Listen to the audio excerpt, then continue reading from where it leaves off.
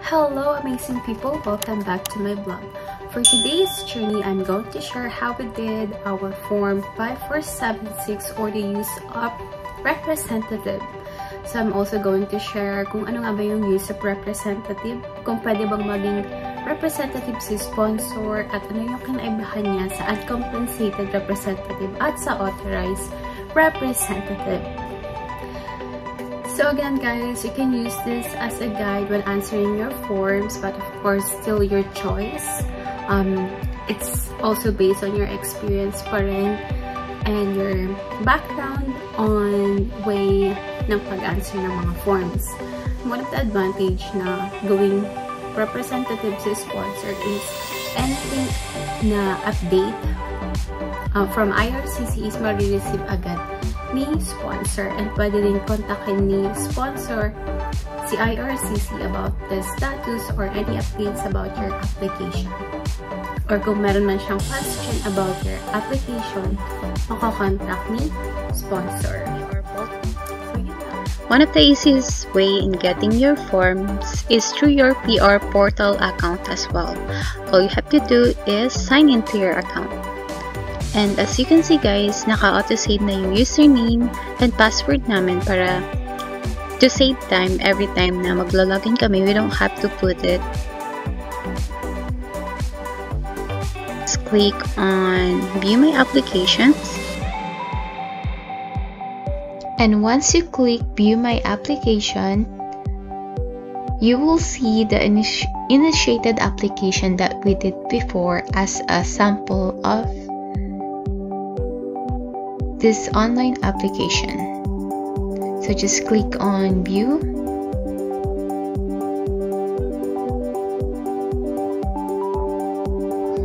Today we're, we will be doing form 5476 which is the use of representative.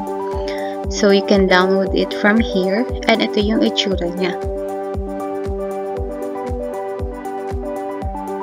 And of course, the updated version is 11 2021. So, ano nga ba yung use of representative? Sino nga ba yung pwedeng gumamit nito? So, from this um, website, it says na if you are appointing a representative, you can use this form.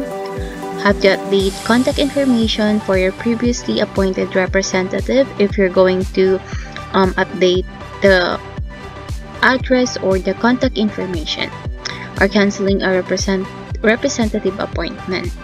So there are two types of representatives.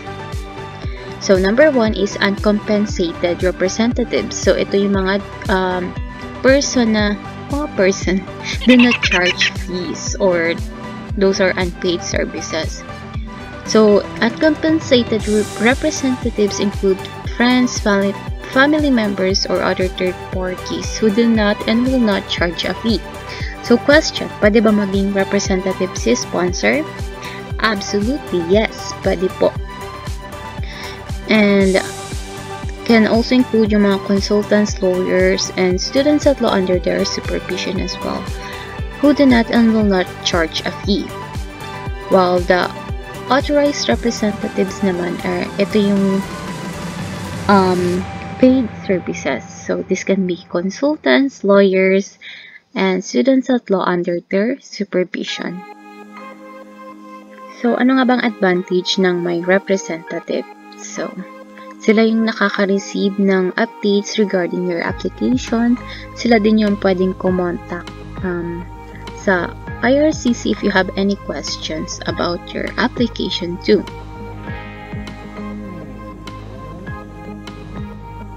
So, balik tayo sa document checklist or IMM 5533. So, if you guys are gonna use your sponsor as a representative, then put a check mark here. And also in this box, put a check mark. I am appointing a representative, so you must complete the form 5476. So, if you want to know more about our use of representative or yung step-by-step -step instruction, So just visit this website, which is yung guide 5561 that I um, shared a while ago. So important note, if a sponsor will receive a correspondence for or act in any way on behalf of the principal applicant and or any dependent child over the age of 18 included in the application for permanent residence, application and any child 18 or older must each complete their own use of representative or yung IMM 5476 listing the sponsor as a representative. If this is not provided, the application will be returned without being processed. So, kailangan hindi lang si principal applicant ang merong form 5476 if you guys have dependent so dapat um yung mga dependent din is meron din sila sari-sariling um form 5476 but if you're not appointing a representative then just put a check mark here. But if you're appointing then of course ayan yung magiging uh, dapat na kalabasan niya. Okay, so um, gonna share how we did our form 5476 use of representative. So you do not need to hire a representative. It is your choice. No one can guarantee the approval of your application. All the forms and information that you need to apply are available for free at this website. So note lang, you must use the use this form to appoint a paid or unpaid representative to conduct business with IRCC or the CBSA on your behalf.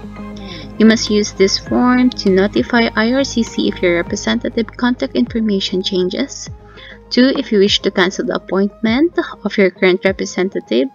3. If you wish to cancel the appointment of your current representative and appoint a new representative. So I am appointing a representative, complete section A, B, and D. But if you guys are canceling the appointment, then put a check, ma check mark here and complete section A, C, and D. So section A is the applicant information.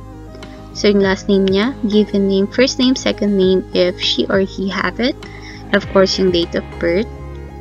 And then if you have already submitted your application, again guys, this is our first application. So we just put NA, NA, NA or not applicable. Section B is uh, for representative. So again, yung last name niya, first name and second name kung meron man siya. So type of uh, representative is kung uncompensated ba or um, authorized representative. So kung si sponsor siya, means uncompensated and is a family member, so put a check mark. But if you guys hire a consultant or a lawyer that will process your application, then sila na ang bahala dito.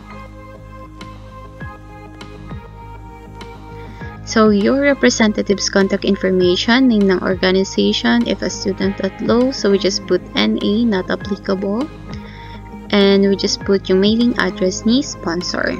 So, apartment or unit number kung nakatira man siya sa townhouse or apartment.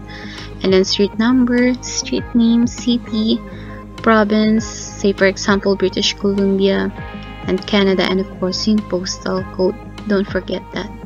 And then of course yung um, cellular number ni sponsor ang nilagay namin dito. And also don't forget the email address. So uh, we use the sponsor email address in this section.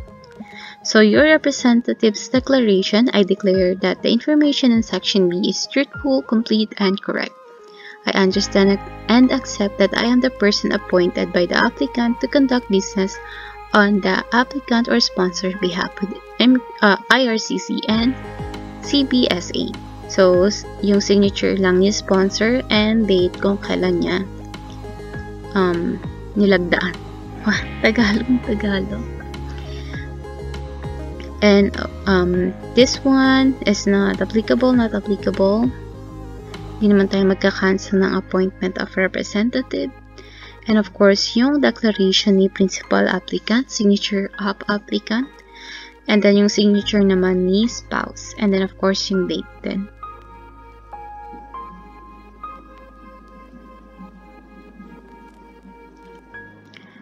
Ayun lang guys. So in this form then is you have to print this after you um, answer this one kasi ito ay mga handwritten signature ang kailangan. And then you have to scan it again and then upload it to your profile. That's all. So yun lang. Um, thank you for watching. See you on my next vlog. Bye for now.